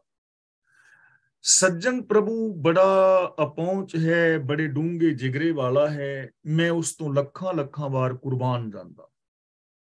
ਅਗੰਮ ਹੈ, ਅਪਹੁੰਚ ਹੈ, ਅਗਾਧ ਬੋਧ ਹੈ ਡੂੰਗੇ ਜਿਗਰੇ ਵਾਲਾ ਹੈ, ਅਨੰਤ ਗੁਣਾ ਦਾ ਸਾਗਰ ਹੈ ਮੈਂ ਉਹਦੇ ਤੋਂ ਲੱਖਾਂ ਲੱਖਾਂ ਵਾਰ ਬਲਿਹਾਰ ਜਾਂਦਾ ਹਾਂ, ਕੁਰਬਾਨ ਜਾਂਦਾ ਤੇ ਬਲਿਹਾਰ ਦਾ ਮਤਲਬ ਹੁੰਦਾ ਹੈ ਆਪਣੀ ਤਾਕਤ ਹਾਰ ਜਾਣਾ ਸਰੈਂਡਰ ਹੋ ਜਾਣਾ, ਦਾਸ ਹੋ ਜਾਣਾ, ਸਰਨ ਦੇ ਅੰਦਰ ਚਲੇ ਜਾਣਾ, ਆਪਣੀ ਸੋਚ ਨੂੰ ਛੱਡ ਕੇ ਉਸ ਸੋਚ ਨੂੰ ਅਪਣਾ ਲੈਣਾ। ਤਾਂ ਮੈਂ ਲੱਖਾਂ ਵੇਰੀ ਆਪਣਾ ਆਪਾ ਵਾਰਦਾ ਹਾਂ, ਜਿਹੜਾ ਅਗੰਮ ਔਰ ਅਗਾਹ ਹੈ। ਸਰਮ ਪਈ ਨਾਰਾਇਣ ਹੈ ਨਾਨਕ ਦਰ ਪਈਆ। ਸ਼ਰਮ ਦਾ ਮਤਲਬ ਹੁੰਦਾ ਹੈ ਲਾਜ। ਸ਼ਰਮ ਪਈ ਦਾ ਮਤਲਬ ਇੱਜ਼ਤ ਰੱਖਣੀ ਪਈ। ਦਰ ਪਈਆ ਦਾ ਮਤਲਬ ਜੋ ਆ ਕੇ ਦਰ ਤੇ ਟਹਿ ਪਿਆ। हे ਨਾਨਕ, ਪ੍ਰਭੂ ਬੜਾ ਦਿਆਲੂ ਹੈ। ਉਹ ਦਰ ਉੱਤੇ ਡਿੱਗਿਆਂ ਦੀ ਇੱਜ਼ਤ ਰੱਖਦਾ ਹੈ। ਉਹਨੂੰ ਦਰ ਤੇ ਡਿੱਗਿਆਂ ਦੀ ਇੱਜ਼ਤ ਰੱਖਣੀ ਪੈਂਦੀ ਹੈ। ਇਹ ਉਹਦਾ ਸੁਭਾਅ ਹੈ। ਜੋ ਸਰਣ ਆਵੇ ਤਿਸ ਕੰਠ ਲਾਵੇ, ਇਹ ਬਿਰਧ ਸੁਆਮੀ ਸੰਦਾ ਜੋ ਰੱਬੀ ਦਰ ਤੇ ਟਹਿ ਪੈਂਦੇ ਨੇ ਨਾ, ਰੱਬ ਉਹਨਾਂ ਦੀ ਇੱਜ਼ਤ ਰੱਖਦਾ ਹੈ। ਹੁਣ ਇਹ ਗੱਲ ਵੀ ਸਮਝਣ ਵਾਲੀ ਹੈ। ਇਹ ਨਹੀਂ ਕਿ ਜਿਹੜਾ ਮੱਥਾ ਟੇਕੇ ਕਿ ਰੱਬਾ ਮੇਰੀ ਇੱਜ਼ਤ ਰੱਖੀ ਤੇ ਕਮਾਈ ਜਾਏ ਪਾਪ, ਐਵੇਂ ਇੱਜ਼ਤ ਨਹੀਂ ਰੱਖਦਾ ਕਿ ਤੂੰ ਹੁਣ ਜਿੰਨੇ ਮਰਜ਼ੀ ਪਾਪ ਕਮਾਈ ਜਾ ਤੇਰਾ ਕੋਈ ਕੁਛ ਨਹੀਂ ਵਿਗਾੜ ਸਕਦਾ, ਐਵੇਂ ਨਹੀਂ। ਇੱਜ਼ਤ ਕਿਵੇਂ ਰਹਿੰਦੀ ਹੈ? ਜਦੋਂ ਬੰਦਾ ਮੰਨ ਲਓ ਮੈਂ ਹਾਂ, ਮੈਂ ਮਾੜੇ ਕਰਮ ਕਰਦਾ ਝੂਠ ਬੋਲਦਾ ਨਸ਼ੇ ਵਗੈਰਾ ਵਰਤਦਾ ਹਾਂ। ਤੇ ਜੇ ਮੈਂ ਰੱਬ ਦੀ ਸ਼ਰਨ ਵਿੱਚ ਪੈ ਜਾਵਾਂ, ਰੱਬ ਦੀ ਸ਼ਰਨ ਵਿੱਚ ਪੈਣ ਦਾ ਮਤਲਬ ਮੈਂ ਹੁਣ ਰੱਬੀ ਰਜਾ ਵਿੱਚ ਤੁਰਨਾ ਸ਼ੁਰੂ ਕਰ ਦਿਆਂ, ਰੱਬੀ ਗੁਣਾ ਨੂੰ ਅਪਣਾ ਲਵਾਂ, ਤਾਂ ਰੱਬੀ ਗੁਣਾ ਨੂੰ ਅਪਣਾਉਣ ਦੇ ਨਾਲ ਮੈਂ ਨਸ਼ੇ ਵਗੈਰਾ ਛੱਡ ਦਿਆਂਗਾ ਬਿਲਕੁਲ। ਰੱਬੀ ਸ਼ਰਨ ਵਿੱਚ ਪੈਣ ਦਾ ਮਤਲਬ ਕਿ ਮੈਂ ਹੁਣ ਰੱਬੀ ਗੁਣਾ ਦਾ ਧਾਰਨੀ ਹੋ ਗਿਆ, ਸੱਚ ਬੋਲਣਾ ਸ਼ੁਰੂ ਕੀਤਾ, ਨਿਰਵੈਰ, ਨਿਰਭੈਤਾ ਵਾਲਾ ਜ਼ਿੰਦਗੀ ਸ਼ੁਰੂ ਕਰ ਲਈ, ਤਾਂ ਹੁਣ ਮੇਰੀ ਇੱਜ਼ਤ ਆਪੇ ਹੀ ਰਹਿ ਜਾਣੀ ਹੈ। ਕਿਉਂਕਿ ਮੈਂ ਕੋਈ ਕੰਮ ਹੀ ਨਹੀਂ ਐਸਾ ਕਰਨਾ ਜਿਹਦੇ ਨਾਲ ਬੇਇੱਜ਼ਤੀ ਹੋਵੇ। ਤਾਂ ਇਸ ਤਰ੍ਹਾਂ ਇੱਜ਼ਤ ਰਹਿੰਦੀ ਹੈ ਇੱਜ਼ਤ ਸਾਡੀ ਆਪਣੇ ਕਰਮਾਂ ਕਰਕੇ ਵਿਗੜਦੀ ਜਾਂ ਬਣਦੀ ਹੈ ਤਾਂ ਗੁਰੂ ਪਾਤਸ਼ਾਹ ਜੀ ਕਹਿੰਦੇ ਨੇ, ਜੋ ਪ੍ਰਭੂ ਦੇ ਦਰ ਤੇ ਟਹਿ ਪੈਂਦੇ ਨੇ, ਪ੍ਰਭੂ ਉਹਨਾਂ ਦੀ ਲਾਜ ਰੱਖਦਾ ਹੈ ਉਹਨਾਂ ਦੀ ਬੇਪੱਤੀ ਨਹੀਂ ਕਰਨ ਦਿੰਦਾ, ਯਾਨੀ ਉਹ ਐਸਾ ਕੋਈ ਕਰਮ ਨਹੀਂ ਕਰਦੇ ਜਿਸ ਦੇ ਨਾਲ ਉਹਨਾਂ ਦੀ ਬੇਪੱਤੀ ਹੋਵੇ। ਉਹ ਇੱਜ਼ਤ ਵਾਲੀ ਫਿਰ ਜ਼ਿੰਦਗੀ ਜੀਂਦੇ ਨੇ। ਪੋਕ ਸੁਹੰਦਾ ਸਰਬ ਸੁਖ, ਜਿਸ ਬਖਸ਼ੇ ਵੇ ਪਰਵਾ। ਸੁਹੰਦਾ ਦਾ ਮਤਲਬ ਸੋਹਣਾ ਲੱਗਦਾ ਹੈ। ਇੱਥੇ ਅਸਲ ਲਫ਼ਜ਼ ਹੈ ਸੋਹੰਦਾ, ਸੱਸੇ ਦੇ ਨਾਲ ਹੋੜਾ। ਪਰ ਇੱਥੇ ਆਪ ਵੇਖ ਰਹੇ ਹੋ ਕਿ ਸੱਸੇ ਦੇ ਥੱਲੇ ਔਂਕੜ ਵੀ ਲੱਗਾ ਹੋਇਆ ਹੈ। ਇਸ ਲਈ ਇਹਦਾ ਪਾਠ ਸੋਹੰਦਾ ਨਹੀਂ ਕਰਨਾ, ਔਂਕੜ ਦੇ ਨਾਲ ਬੋਲਣਾ ਹੈ ਸੁਹੰਦਾ। ਸੁਹੰਦਾ ਦਾ ਮਤਲਬ ਸੋਹਣਾ ਲੱਗਦਾ ਹੈ। ਜਿਸ ਉੱਤੇ ਬੇਪਰਵਾਹ ਪ੍ਰਭੂ ਮਿਹਰ ਕਰਦਾ ਹੈ, ਉਹਨੂੰ ਪੋਹ ਦਾ ਮਹੀਨਾ ਸੁਹਾਵਣਾ ਲੱਗਦਾ ਹੈ। ਉਹਨੂੰ ਸਾਰੇ ਸੁੱਖ ਮਿਲ ਜਾਂਦੇ ਨੇ। ਪੋਖ ਸੁਹੰਦਾ, ਪੋਹ ਦਾ ਮਹੀਨਾ ਸੁਹਾਵਣਾ ਲੱਗਦਾ ਹੈ। ਸਰਬ ਸੁਖ, ਉਹਨੂੰ ਸਾਰੇ ਸੁਖ ਮਿਲ ਜਾਂਦੇ ਨੇ। ਕਿੰਨੂੰ? ਜਿਹਨੂੰ ਪ੍ਰਭੂ ਬਖਸ਼ਦਾ ਹੈ, ਜਿਹਦੇ ਤੇ ਪ੍ਰਭੂ ਦੀ ਮਿਹਰ ਹੁੰਦੀ ਹੈ, ਜੋ ਪ੍ਰਭੂ ਦੀ ਮਿਹਰ ਦਾ ਪਾਤਰ ਬਣਦਾ ਹੈ। ਤਾਂ ਜੋ ਪ੍ਰਭੂ ਦੀ ਮਿਹਰ ਦਾ ਪਾਤਰ ਬਣਦਾ ਹੈ ਉਹਦੇ ਵਾਸਤੇ ਪੋਹ ਦਾ ਮਹੀਨਾ ਸੁਹਾਵਣਾ ਹੈ। ਉਹਨੂੰ ਸਾਰੇ ਸੁੱਖ ਮਿਲਦੇ ਨੇ। ਤੇ ਜੇ ਕੋਈ ਕਹੇ ਭਈ ਸ਼ਰਾਬਾਂ ਪੀ ਪੀ ਕੇ ਤੇ ਮਾੜੇ ਕਰਮ ਕਰਕੇ ਤੇ ਸਗਰਾਂਦ ਮਨਾ ਲਵਾਂ ਤੇ ਮੈਨੂੰ ਸੁੱਖ ਮਿਲ ਜਾਏ, ਐਵੇਂ ਨਹੀਂ। ਕਰਮ ਦੇ ਉੱਤੇ ਆਧਾਰਿਤ ਹੈ। ਪੋਹ ਦਾ ਮਹੀਨਾ ਉਹਨਾਂ ਲਈ ਸੁਹਾਵਣਾ ਸਰਬ ਸੁਖਦਾਇਕ ਹੋ ਜਾਂਦਾ ਹੈ, ਜੋ ਰੱਬੀ ਰਹਿਮਤ ਦੇ ਬਖਸ਼ਿਸ਼ ਦੇ ਪਾਤਰ ਬਣ ਜਾਂਦੇ ਨੇ। ਤਾਂ